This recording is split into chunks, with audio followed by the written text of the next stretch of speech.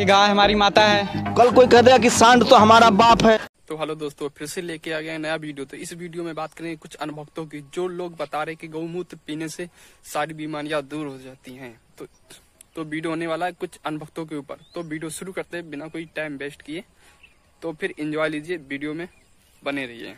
तो फ़ायदेमंद है। हाँ बिल्कुल फ़ायदेमंद क्या क्या बीमारी दूर होती है उससे एक सौ छत्तीस बीमारी होती है नाम का पता नहीं। तो हॉस्पिटल में गौमूत्र की सप्लाई शुरू करवा दें?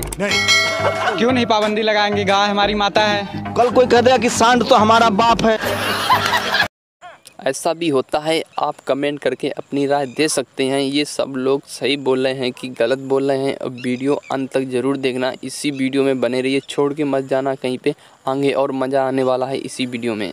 तो आने की बात छोड़ रहे हैं। क्या नाम है आपका? मेरा नाम दिवाकर चौहान है। दिवाकर जी बताइए कल कोई मैं मछली पालता हूँ। हाँ। कल कोई मुझे आके मुख्यमंत्री कह दे कि मछली हमारी फूगा है।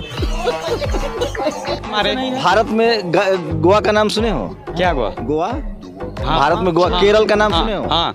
वहाँ सब लोग गाय खाते हैं। हम हिंदू धर्म के हैं हमें गाय नहीं खाते। तो तुम नहीं खा रहे हो? जो खाता है उस पर पाबंदी लगा दो क्यों नहीं पाबंदी लगाएँगे? गाय हमारी माता है। कल कोई कह देगा कि सांड तो हमारा बाप है। तो ये क्या बात जो हो? ये गलत है ये गलत ये ये बता ना एक बता ना कल कोई कह देगा बकरा हमारा चाचा है नहीं? सबकी है। जय श्री राम बोलो तो जय श्री राम बोलने में फटती है सबकी। मतलब क्या हुआ जय श्री राम? क्यों? मतलब कोई हल्ला अकबरी बोल सकता है कोई जीजस भी बोल सकता है जो है कि अगर गाय बुज़ुर्ग हो गई तो छोड़ देते क्यों छोड़ देते? माँ बाप बुज़ुर्ग बता अरे माँ बाप का संबंध गाय से कैसे है? यार यही तो समझा रहा हूँ। गाय सुनो मेरी बात मैं गाय पालता हूँ गाय मैं बेच लूँगा बाद में मेरा मन होगा तो। हैं? कितनी गाय है? गौमूत्र दिखाना आपको। हैं? सर, लेके चलूँगा अभी। ठीक है। क्या गौमूत्र? हाँ वो गौमूत्र देखने के लिए बोल रहे थे।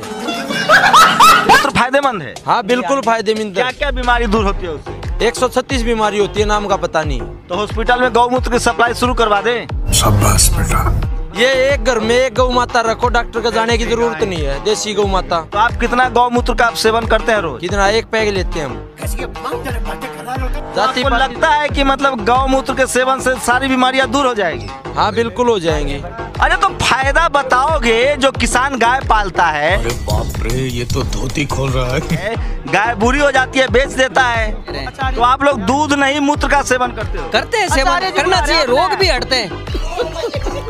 वीडियो अच्छी लगी तो वीडियो को लाइक करें। ऐसी वीडियो देखने के लिए चैनल सब्सक्राइब करें कि ऐसी हमारी वीडियो आती रहती है इसी चैनल पे। तब तक चलते हैं। Bye bye